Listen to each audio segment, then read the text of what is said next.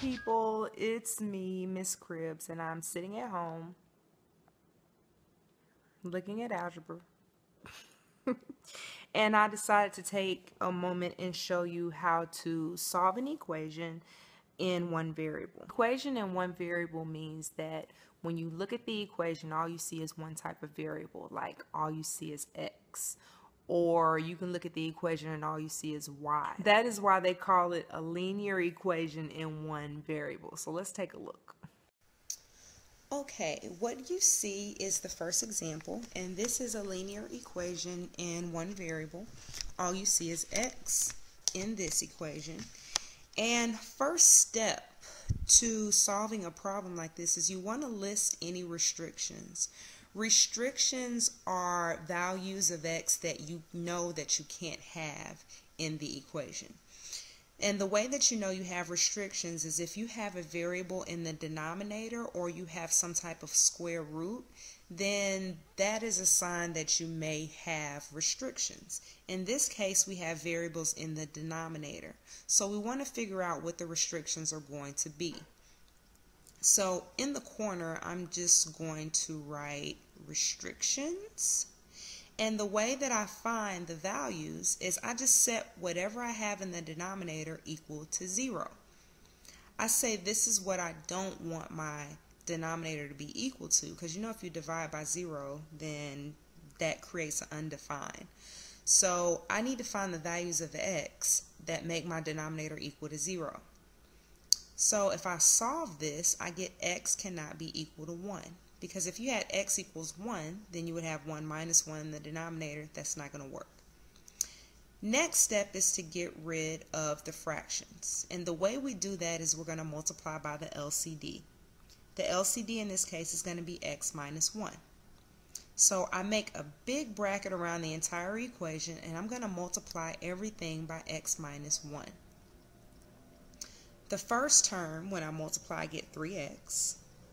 The next term, I multiply, I get 2 times x minus 1. And then the last term, I get 3. As you see, I have an equation with no fractions. So what I can do now is go ahead and solve the equation. I'm going to distribute the 2. I'm going to combine my like terms. I'm going to add 2 to both sides to isolate my variable term.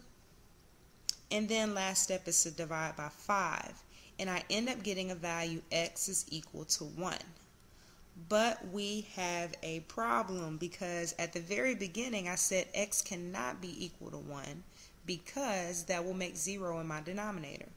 So because x cannot be equal to 1, the answer to this is no solution. So sad face. Let's try another example. Um, this equation again is a linear equation in one variable and we want to solve for x. So step one, let's list the restrictions. So as you notice, you have three denominators here. You have x minus 2, x minus 1, and then you have a denominator that has both. So the one that has both, I'm going to say that I don't want that equal to 0. That's the same thing as setting the other two equal to 0. So let's just do this all in one step. And take x minus 1, x minus 2, and say that we don't want this to be equal to 0. To figure out what values of x we cannot have. And those two values are going to be x is equal to 1 and x is equal to 2. So I don't want x to be equal to 1 and I don't want x to be equal to 2. If I get either one of those answers, then I have to cross them out and say, okay, I can't have that.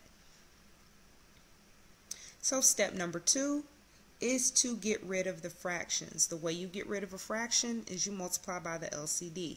In this case, the LCD is going to be x minus 1, x minus 2. So I put big brackets around the entire equation and I'm going to multiply each one by x minus 1, x minus 2. So I want to go a little bit slower on this so you can understand how my denominator crosses out. So if I take this first term, I get 3 over x minus 2, and I'm going to multiply by the LCD. I can put that LCD over 1. That means the same thing. I'm just turning that LCD into a fraction. And notice what crosses out, the x minus 2. And that leaves me with just 3x minus 1. Let's do it again. For the second term, I have 1 over x minus 1, and I'm going to multiply by the LCD, or the LCD over 1. That means the same thing. And in this case, what crosses out is the x minus 1.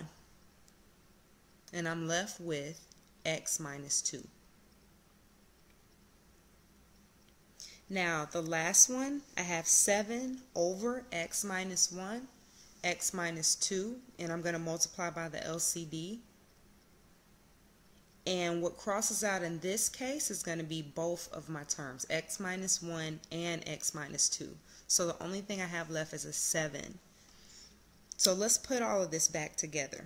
The first term was 3, x minus 1, equals the second term was just x minus 2. And then the last term was just 7. So as you see, an equation with no fractions. So let's solve. Distribute the 3. We're going to combine the like terms. The negative 2 plus 7 is going to give you positive 5. So x plus 5. Now I bring my variables together, so I subtract.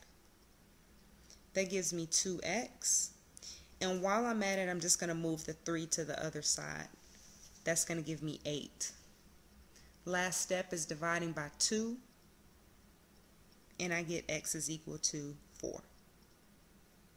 Now x equals 4. x is not equal to 1 and it's not equal to 2, so this qualifies as a good answer. Hope that was helpful.